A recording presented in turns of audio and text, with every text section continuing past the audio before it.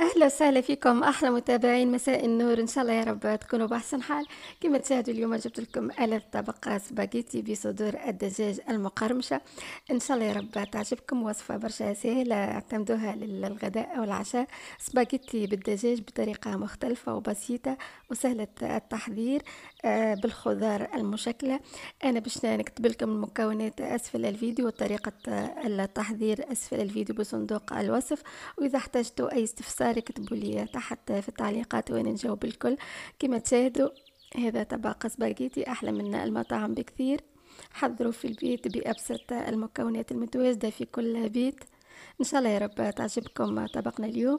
وإذا أول مرة تشاهد قناتي أنا سلمى محمود نقدم اكلات مختلفة وسريعة من كل العالم بمكونات بسيطة جدا.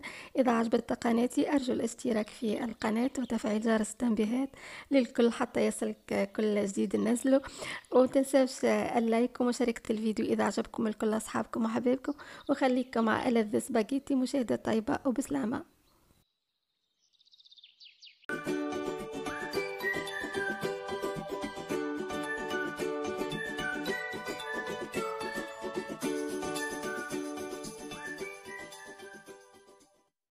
يا ربي. يا ربي راح أصير دبة. وش بنته